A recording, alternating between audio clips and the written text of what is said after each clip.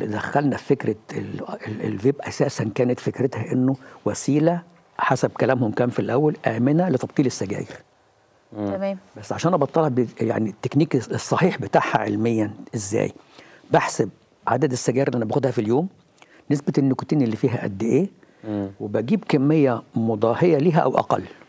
مم. وببتدي أوزعهم. بس عمليا أنا لما بيبقى معايا علبة سجاير ببقى شايف قد كام سيجارة خدتها. قدامي أربع خمس خمس ست عشر باينين. في الفيب مش حاسب بقى مش أنا شربت بيها. قد إيه. ده أنا مرة بسأل واحد بيقول لي أنا ممسكها زي البزازة. طالع طالع داخل. طب يبقى دي أصلا مش وسيلة إن الواحد يبطل بالعكس ده دي. بتزود الحالة الإدمانية. أخطر.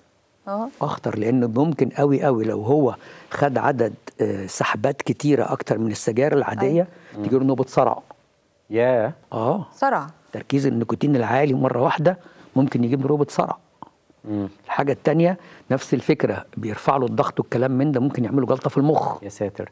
طب يا رغم دكتور النهارده يعني- اللي بيشرب سجاير وعايز يتنقل من مرحلة السجاير العادية للسجاير الإلكترونية هل دي وسيلة آه، أو خطوة على الطريق ولا آه، خليك في السجاير العادية؟ هو بس ككلام نظري صح.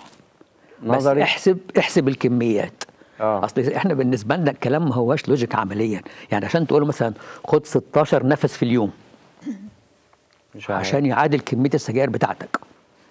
هو معقول هيقعد يحسب؟ أنا خدت نفسين هي مش هتتحسب بالنفس ولا بالكم مرة. هي هتتحسب زي ما اتعود على مسكة السيجاره بين إيده بيتعود على مسكة بالظبط. الجهاز هي دي نفس. الفكرة هي صح كده. هي اتحولت برضه لعادة إدمانية زيادة على اللي عنده. بالظبط كده. والمشكلة كمان إن هو لما بيجي ينقص منه نسبة النيكوتين ويلاقي نفسه مش مش مستطعم بيها قوي زي السجاير بيروح راجع للسجاير. مم. يعني في نسبة كبيرة من الناس بدأ بال بالفيب وبرضه رجع تاني للسجاير. أو بقى أدمن أكتر الأيكوس على أساس فيها التبغ كامل زي ال- زي نفس السجاير؟ الفكرة. هو الأيكوس دلوقتي الموضة الجديدة. آه. لأن هو لسه نازل بقى له فترة صغيرة.